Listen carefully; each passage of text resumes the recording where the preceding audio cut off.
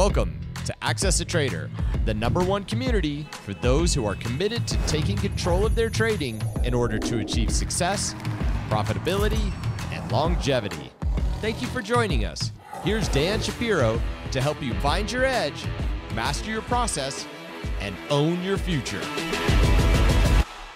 Hey guys, good morning, everybody, and welcome to another edition of uh, the AccessATrader.com uh, weekend update show. Hope everybody is doing great. Hope everybody is having a, a wonderful uh, weekend. Only two weeks left in the year, guys. That's it. Two weeks left in the year, uh, which is an incredible, uh, incredible bull market year uh, this year versus last year. You guys remember last year? Uh, we were down 36% on the NASDAQ 100. We'll get to that in a second. Quite a turnaround from last year. Nothing in the economy really has changed, but hell of a hell of a disconnect uh, from Main Street. Uh, uh, if you are brand new uh, to the channel, guys, only thing we ask is if you like the content, uh, if it creates value for you, continues to create value for you, all we thing to do is just take a second, just hit that little thumbs up button, like, share, subscribe, uh, all that good stuff. And our job is to try to give you the biggest unbiased way to look at the market for the next day. So thank you very much for tuning in. So this is how crazy this market is, right? And when I say crazy, it's it's a good thing, right? It's absolutely a good thing. Uh, number one, last year uh, we talked about the Nasdaq 100 down 36 percent. It was the end of the world, and then out of nowhere, the market just got tired. It just got tired of going down, just the same way uh, in a bull market stocks get tired going up. And what happened was. Well, we kind of made back all the 36% that we lost last year on the NASDAQ 100. As a matter of fact, if you look at uh, the year-to-date totals they're they're quite staggering. Um, the Dow Jones Industrial Average, or we'll, we'll use the diamonds as a proxy, closed at 52-week highs on Friday with almost nearly a nine and a half, 10% gain for the year. It's very, very impressive.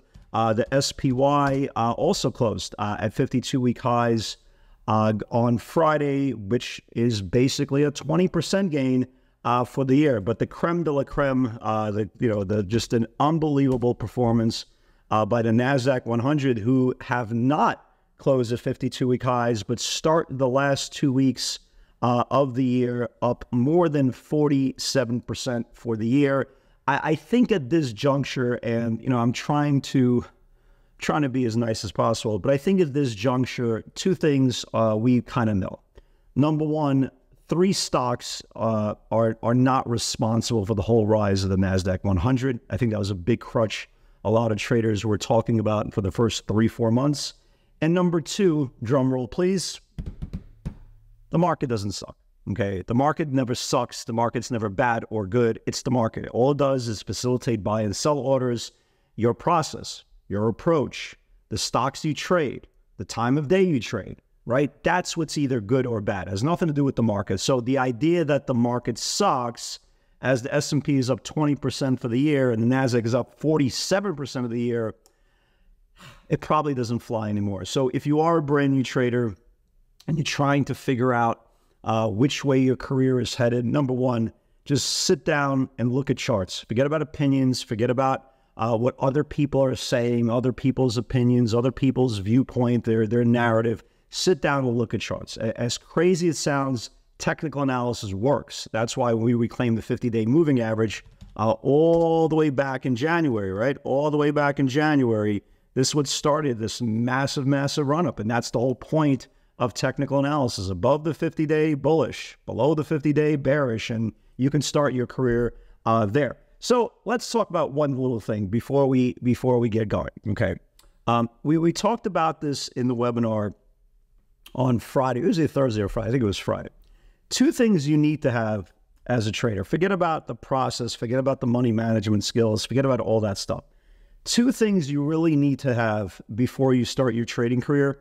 Number one, you have to have a sense of humor. Okay, that's number one. If you don't have a sense of humor, you're going to take this business so seriously that your head is going to explode. Okay, you have to laugh at things. Sometimes things are so ridiculous in this business, and we'll get to that in an example things sometimes are just so ridiculous that you just turn around and go, "This is just this is funny, right? It's just funny," and move on. Because if you don't, your insides are going to start to boil. You're going to implode from the inside.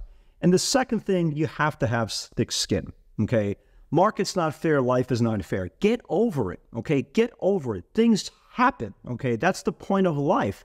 This is why life throws you curveballs every single day. Things happen. If you don't have thick skin and you don't have a sense of humor, you better start looking for a plan B. Uh, every single trader that I know has been doing this for at least 20. And again, all my buddies, we started at the same time uh, between 99 and 2001. Like all my friends, they're still in this business, are doing this 20 plus years all of us are uh, have several characteristics. We're all out of our minds. Okay, we're all like, for example, I'm a Gemini. I never got diagnosed, but I'm pretty damn sure I'm bipolar and dyslexic. I'm pretty damn sure I am. Um, but you, you have to have thick skin. Um, you have to have a personality because if, if you don't, guys, just just think about this. Every single day, you're putting your hard-earned money on the line every single day, and you're watching. Okay, and again, I've been saying this for years. Take off your P and L, right? Just click off that box. But most traders are watching in real time money go into your account, euphoria. Money go out of your account, depression. Money go into your account, oh my God. Money go out to the economy. I want to die, right? You can't have that, folks. I- I'm telling you, this business is a unique business. It's not even a real business. It's only about 30, 35 years old. Uh, and the key is to put yourself in a situation you get so systematic, you get so good in that art of technical analysis that nothing bothers you. Of course, we're human beings, we're going to make mistakes all the time. I have brain farts all the time. But the key is put yourself in a position to try to be as robotic, as systematic as possible. Because if you can't laugh at yourself, if you can't laugh at external factors that sometimes are affecting your money, you are going to implode. You're going to leave this business prematurely, and you're never going to fulfill your uh, your the potential because you're not going to have enough screen time uh, to get over those mental hurdles. So again, have a good sense of humor, have thick skin, and good things. Eventually, it will click. If not, it's going to be very, very tough for you uh, to navigate. So let's talk about it, right? If you guys remember, we left off Wednesday, right? Because there's no Thursday video. We left we left off the Wednesday. Remember when AI when uh, AMD gave their presentation, at their AI event, and the stock just couldn't rally. It was one of those sell the news situations. You guys remember we were talking about on, on Wednesday? Hey guys, I'm watching. I even give you guys the price. 1635, 1635, right? 1635 held three times. I go, boy, this thing starts building below 1635. This thing is going to get hit. Apparently, there was a. This is one of those situations where you better have a really good, damn good sense of humor, because there was a very delayed reaction. So Thursday morning, AMD gets upgraded. Okay, and not only does it not confirm this bottom channel, it goes on an ignorant run. If you traded AMD on Thursday, uh, Friday was a little bit of a continuation, but if you traded AMD on Thursday, you kind of saw what happened. Here is the 60 minute move. So the stock gets upgraded, right? And the stock was up about four and a half, five dollars. And I, and I said to everybody, I go, okay, guys, let's wait for a dip. There's, there's no way in hell I'm chasing AMD up four dollars at, at the open, right? AMD. It's not like you're chasing Tesla in the video. It's AMD, four dollars at the open. The damn thing went up like twelve dollars. Just it was there wasn't a downtick that day. Just absolutely remarkable. And it really does, you know, it really does kind of hammer the point home that I talk about every single video. Guys, don't anticipate, right? You could be wrong theoretically. Again, I've said this, I'm wrong every day. Again, you, when you have a plan, the only way you're wrong is if it confirms you mistrade the stock if you have a plan and it doesn't confirm, who cares, right? What's what's the difference, right? We were watching 1635, 1635, 1635, 1635. It got nowhere near 1635. So it's okay to be theoretically wrong. Just don't be financially wrong. And that's what a lot of traders do. They they look at a chart and they start anticipating before the stock confirms. And usually bad things are going to happen. In this case, boy, oh boy, what an absolute rally um, delay, completely delayed reaction off their uh, AI event. They get upgraded, and then it just really set the fuse uh, to a very, very aggressive 24 uh, hour uh, session on um, AMD. Same thing with Google, right? When was the last time? When was the last time you saw Google went up like ten dollars? Talk about Thursday's action on Google. Google was up five. Okay, it's not like it's Amazon. Okay, it's not like again it's Nvidia or Tesla Netflix, Microsoft, Meta. It's Google, right? If you trade Google, you know this damn thing on a normal day trades like at a dollar and a half spread, dollar and a half range. It was up five and a half pre-market, and the thing went up another four dollars. So incredible, incredible action uh, in the technology space with only two weeks left Uh, only two weeks left of the year. Uh, again, can they run this market right into uh, the last second of uh, 2023? Absolutely. I mean, why not? You know, why not? What it, again? Anything could happen. The market could roll over tomorrow, and we could sell off in the next two weeks. But boy, oh boy, where's the where's that catalyst? Right? You, you have to at least have some sort of catalyst to try to try to figure that out. But not every single stock is rallying. Okay, which is which is the most amazing point. And we want to start off with I don't know if you guys can see it on camera. Let me stand up, right? Got my Tesla shirt on. It's my lucky Tesla shirt on. Tesla is has more false starts out of this range. And again, this has been sitting in this range here from basically for, for a month now. Okay, you can see here. This stock has had more false starts than my beloved Jets offensive line. Okay, every single time you think this damn thing is going to take off, it stalls out again. Here's the the one little thing that we always talk about in these videos that I try to reiterate all the time. I believe in data. Okay. I believe in collecting data. I believe if something doesn't go down, well, it must go right up. So if you guys remember when the stock, you know, this is after earnings, if you guys remember for about two weeks straight, they were literally cutting their prices on various models every single day. And every single day, the stock would open down three, four points, and every single day they would literally start just embracing those gap downs and rallying the stock. And it got so good at one point, they just had a six, seven point rally above the 50 day moving average and then failed and then reclaimed and then failed and then reclaimed and then failed. And yeah, and here we are, right? But the point is it kept on it kept on deflecting bad news with the price cuts, right? Because usually price cuts means, well, there's a there's a there's a surplus, right? There's a surplus of cars that they can't get rid of. Basically, when a, when a company raises prices, it means there's a huge demand for their product. So they kept on neglecting bad news, deflecting bad news. And then Friday, right? You saw on Friday, uh, Bernstein. Bernstein. Remember, remember Bernstein from uh, The Accountant? Well, the accountant from Scarface? Bernstein, right? Or the Bernstein Bears. But Bernstein, right, the boutique uh, broker, an analyst came out and says, we see a 40%, 40% decline in Tesla shares for 2024.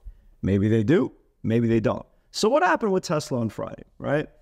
Tesla on Friday only went down like about a dollar and a half, two dollars on that news. Usually, when you get some really bad news in the stock, the stock that's Tesla would have been down seven, eight, ten points. It was only down two dollars, and the stock go, goes green in a day. And not only did the stock goes green in a day, and not only did they start deflecting this bad news, they uh, continuously are coming for the 250s, the 255s, the 260s, the 265s, all for the next two weeks, right? All for the next two weeks going to the December. Is this finally going to come out of this channel, right? Is this finally going? Because keep this in mind, out of all the beta names, this is the only stock that hasn't really gone on this gorilla run, right? Just think about it. This is the only stock. Is this finally going to be the week? And we, I feel like I've been saying that every week. But the funny thing is, Tesla has been giving us great trades. It's get, gave us a $7 move out of this channel, gave us another $7 move out of this channel, gave us a $13 move out of this channel. This last channel here gave us another $7 move. So it's not the point we can't get, get moves on this channel. The point is it just can't follow through from that big move. So I want to see if there's any more negative news on Tesla at the start of the week. And the, the more they continue to engulf that bad news or negativity or bad notes, whatever the case may be, the higher probability it finally will come out of this channel. Will it it'll happen to you know this week, next week? We will we don't know, but again, like I say every single day, don't you be don't you need to be prepared? And That's something we uh, definitely want to keep an eye on. Some other names uh, I definitely want to uh, watch this week. Uh, look at Amazon, guys. Keep an eye on Amazon. It's getting super duper tight. It had that last flag, and now it's just consolidating that flag. If this thing could just get above this whole channel here and reclaim the Bollinger Band, this thing could really, really wake up. Look at Meta. We had several, you know, pretty good Meta pivots this week, especially uh, off the five-day reclaim, off the 10-day reclaim, and this is now the highest close in this whole formation, reclaiming back.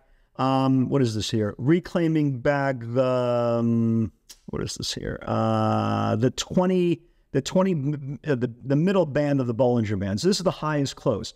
If Meta can just get above the 11, 1130 highs, this thing has a lot of room up. So again, definitely one to watch. Apple has been uh, absolutely great. We'll get to the pivots in a second. It just continues to go move higher. Nice grind. The upgrade came a couple of days ago. It's just just trapping shorts. Uh, any weakness on Apple, guys, as you can see how it just keeps on hugging the orange line, which is the five day. Every single time it gets down to the five day, this thing keeps on uh, waking up. Uh, AMD uh, looks like again any dip, guys. Any dip on AMD uh, needs to be bought. Um, it, it's it's just absolutely on fire right now. If the market continues it will continue as well. Again, look, look where we were just three days ago talking about, hey, the stock just got rejected on bad news. You know what that means? Yeah, it means it's about to go higher. That's what it means. So basically, it means nobody knows anything and don't damn confirm. Um, but, you know, beautiful looking chart. Obviously, Tesla we're watching as well. Let me give you guys a cheapie. Let me give you guys a cheapie. So usually, you know, it's very rare that I talk about small cap stocks here. But look at space, right? SPCE, right? Richard Branson Company. Look how tight this thing is getting below supply. You see that, guys? You see how tight this thing is getting off supply? And the reason why I say that, there was a, a, a couple of buyers came in. I, I forgot which series, so I apologize. It was either the June or July 2024 $5 calls. Basically means they're betting out of the money that the stock is going to double for 2024. Keep an eye on this thing. If this thing starts getting above this range, we don't know if it will, you know, it's a small cap stock, but if space gets above this range here, maybe this thing could start uh, waking up, you know, really, really strong uh, looking charts. So there's some names I'm definitely watching uh, for this week. Uh, let's talk about uh, let's talk about uh, pivots from Friday. As you can imagine, again, just really aggressive action, um, really aggressive action technology. Roblox, right? Roblox 4220 needs to build. 4220 got basically rejected the 4220, put in a high of 4228. Nicki Minaj set up a Roblox account. Anyway, still watching this thing for this week. Uh, Apple uh, 195 needs to build. Uh, Apple, you know, Apple took out that 195 again, continues to go higher, went up to 196. Highest close now in this literally this whole formation here. Apple looks higher as long as the market continues. Uh, Roku uh, never gave a second entry. A 158 if it builds below can flush. Stopped at 118, rallied back.